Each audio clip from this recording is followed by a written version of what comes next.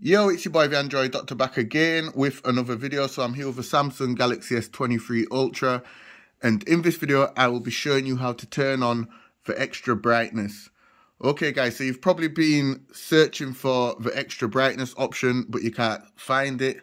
The reason is it's actually hidden away. Don't know why Samsung have hidden it away.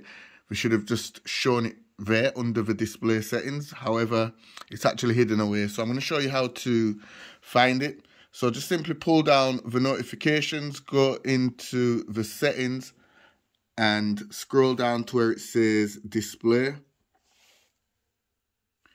And where it says adaptive brightness, just turn that off and you will then see the extra brightness option. So increase the maximum brightness. This uses more battery.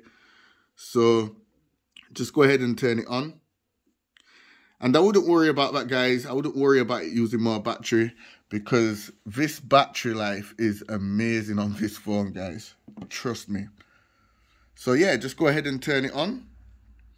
Let me just see something a second. So let's go back to adaptive brightness and turn it on. And now turn on the extra brightness and it does get brighter guys. Trust me.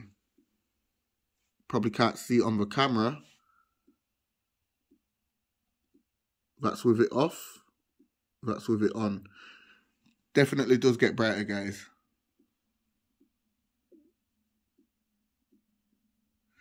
Okay so um when you turn on the extra brightness it provides 1.6 times more brightness.